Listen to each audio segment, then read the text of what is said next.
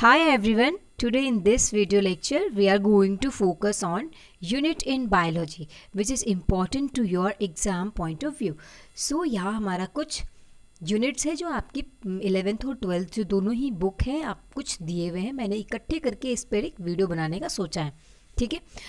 सबसे फ़र्स्ट है आपका unit of classification is taxon category और रैंक हमने इसको फ़र्स्ट चैप्टर में देखा है द लिविंग वर्ल्ड में। सेकेंड है आपका मोस्ट इंपॉर्टेंट और ईजी है।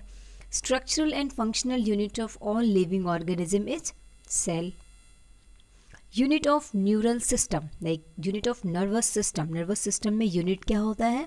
तो neurons functional unit of kidney जब हम एक्सक्रीटरी सिस्टम पढ़ते हैं और उसमें किडनी को पढ़ते हैं तो हमारा जो फंक्शनल यूनिट ऑफ़ किडनी क्या होता है? New nephrons anatomical unit of muscles muscles की यूनिट क्या होती है? Muscle fibre functional unit of muscle contraction is sarcomere जो मसल कॉन्ट्रैक्शन होता है, किसकी वजह से? किस यूनिट की वजह से? तो sarcomere functional unit of inheritance is gene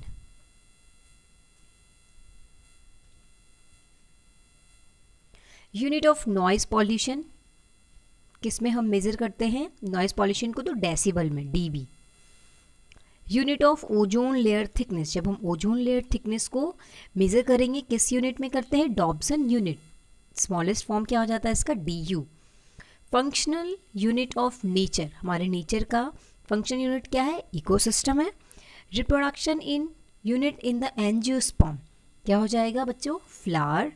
Unit of water potential is pascals, ठीक है? Structural and functional unit of liver is hepatic lobules ठीक है? और लिवर क्या है? लार्जेस्ट ग्लैंड भी है। अब है हमारा structural and functional unit between developing embryo developing embryo क्या हो गया? फीटस एंड मैटरनल बॉडी माँ और बच्चे के बीच की जो स्ट्रक्चरल एंड फंक्शनल यूनिट क्या होती है? वो प्लेसेंटा तो ये सारे काफ़ी इंपॉर्टेंट थी। ठीक है? ये जो भी मैंने बताया, वो काफ़ी इंपॉर्टेंट था। आपके एग्ज़ाम पॉइंट ऑफ़ व्यू से thank you hit the like button share and subscribe